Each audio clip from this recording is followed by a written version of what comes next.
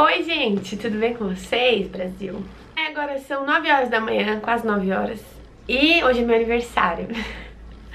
E por incrível que pareça, vim comemorar este dia com uma reflexão. Eu recebo uma pergunta muito frequente.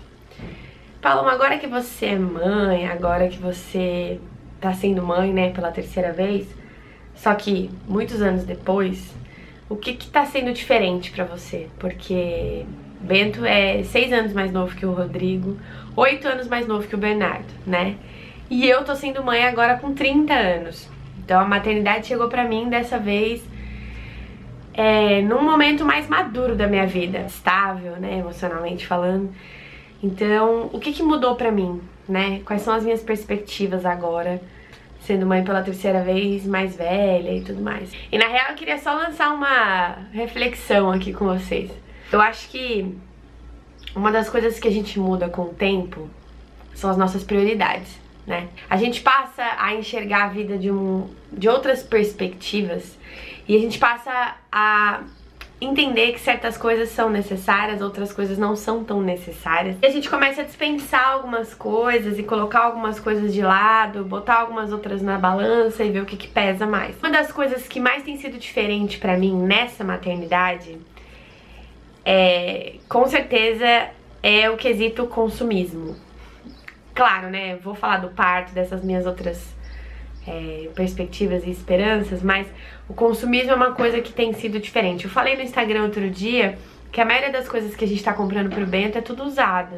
Então o berço dele é usado, o carrinho dele é usado, a cadeirinha dele do carro é usada, o cadeirão alimentação é usado. Quase todas essas coisas são todas usadas. Roupinha também, a gente tem procurado brechózinho online, feiras que eles fazem com brechó, roupinha, né, usada de bebês e tal. E aí muita gente me perguntou, ah, pá, mas por que essa decisão, né, de comprar as coisas usadas e tal? Fala um pouquinho sobre isso e tal. E uma coisa que eu acho importante de dizer é o seguinte, uma coisa que a Thalita Campedelli me ensinou uma vez, eu nunca mais esqueci. Quanto mais filhos você tem ao longo do tempo, você começa a perceber que criança precisa menos do que você acha que ela precisa. E quando eu digo isso, eu digo de bens de consumo mesmo, sabe? E eu percebi isso na pele, assim, conforme eu fui comprando as coisas para os meninos, eu fui testando o que era bom, o que não era, o que eu gastei dinheiro à toa, o que foi investimento mesmo. E aí eu percebi que algumas coisas não precisavam ter acontecido, aconteceram pela minha falta de maturidade, experiência, completamente compreensível. Mas são coisas que eu quero mudar essa perspectiva agora, sabe? Eu tenho reciclado muita coisa aqui dos meninos, então o kit higiene bem velhinho que tava guardado, eu resolvi reciclar, colei umas partes que estavam quebradinhas, tipo, organizei, arrumei. É, tem algumas coisas dos meninos mais antiguinhas, brinquedos e tal, que a gente vai tirar pra higienizar e guardar pra ele.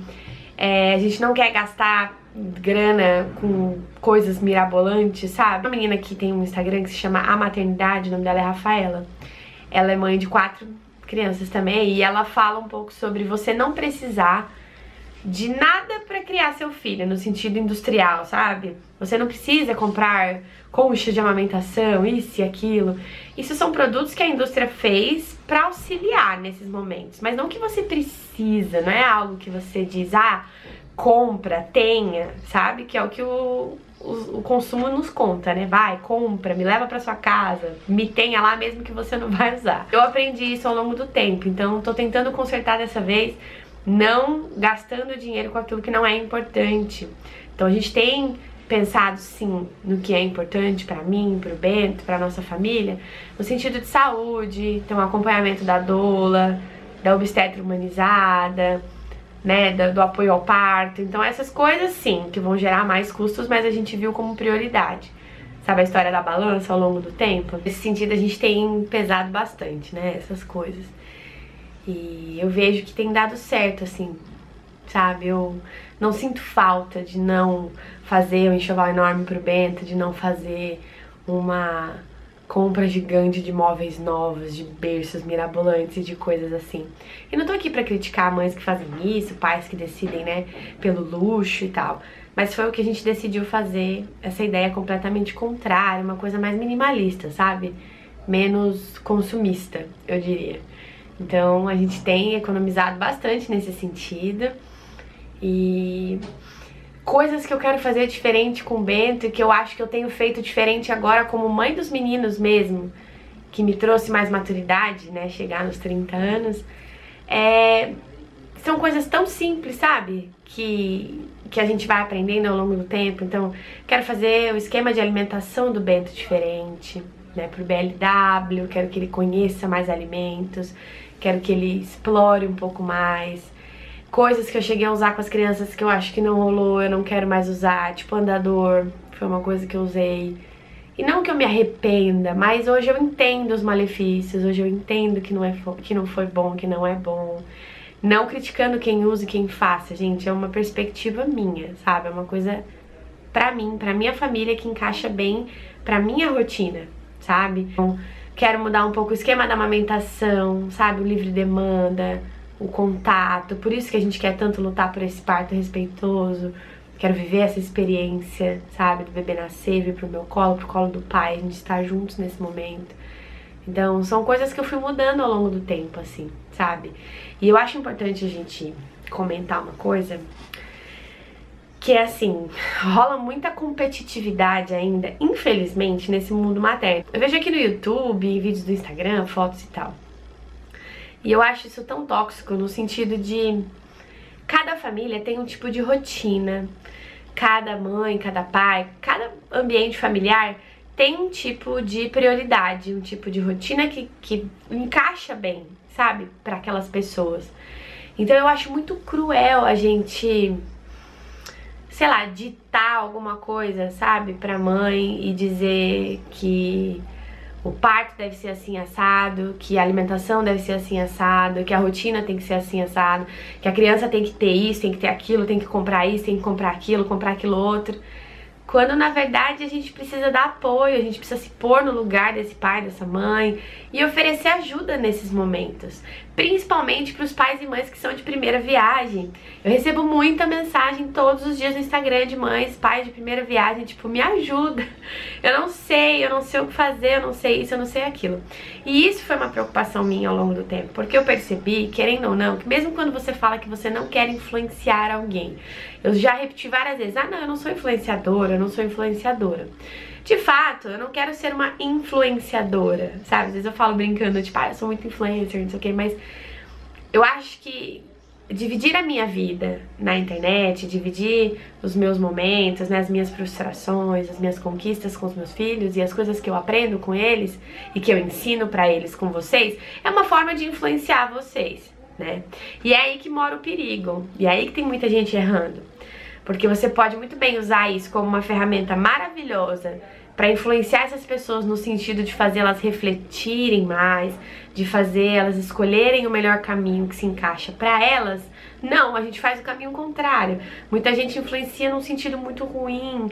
Então, é complicado assim sabe? Eu entendo que o capitalismo engole a gente nisso. Eu entendo que muitas marcas ficam enlouquecidas para as blogueiras, para as mães e tal, fazerem propaganda disso, daquilo, de um produto e de outro. Eu entendo isso, que seja um comércio. Só que eu acho que a gente tem que tomar um pouquinho de cuidado com aquilo que a gente está divulgando aqui, sabe? Com aquilo que a gente está influenciando outras pessoas a pensarem e a fazerem. Seja ruim ou bom, sabe? A gente tem que pensar no que a gente fala aqui. Então, por isso que eu sempre divido com vocês a minha experiência. Chegar nos meus 30 anos, é, sendo quem eu sou hoje, enxergando a vida na perspectiva que eu tenho enxergado hoje, é um privilégio. Eu tô muito feliz de concluir meus 30 anos assim, sendo mãe de novo. Eu tenho certeza que a maternidade para mim, ela vai ter um outro gosto agora, sabe?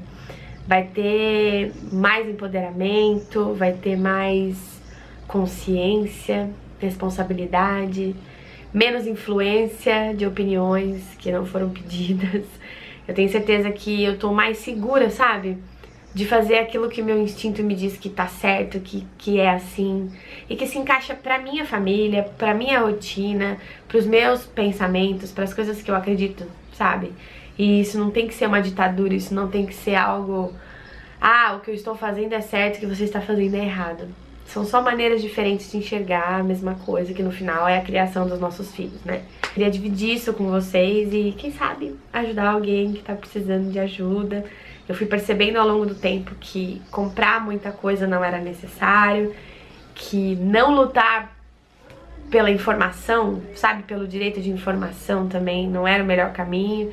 E aí eu fui me construindo aos poucos, me desconstruindo também, fui montando esses pedaços, sabe? Isso foi bom, me fez bem, me ajudou bastante. E era isso que eu queria vir falar com vocês hoje, tá bom? É, espero que vocês, pais, mães de primeira viagem, é, consigam apoio e empatia das pessoas no sentido de mostrar que vocês podem errar, vocês têm oportunidade de errar, e aí quando essas chances se renovam, a gente consegue fazer diferente, a gente consegue mudar. E isso não significa que vocês são pais ruins ou que eu sou uma mãe ruim e assim por diante. Nem vamos entrar em todas essas discussões que as pessoas, né, tentam classificar pais e mães. E a gente já, já vive num ambiente tão cruel, tão tóxico, né? Pra que, que a gente vai colocar mais carga de culpabilização em cima dessas pessoas? Eu acho muito negativa essa ideia, né? Mas é isso, espero que vocês tenham gostado desse bate-papo. Muito obrigada pelo carinho, pelos eventuais parabéns que apareçam aqui. Muito obrigada. A gente se vê na semana que vem. Deixa seu like, se inscreve aqui no canal se você tá gostando dessa nova fase do canal de vídeos mais frequentes. Deixa aqui nos comentários pra mim também sugestões de temas que vocês queiram que eu fale aqui. E a gente se vê na semana que vem. Um beijo.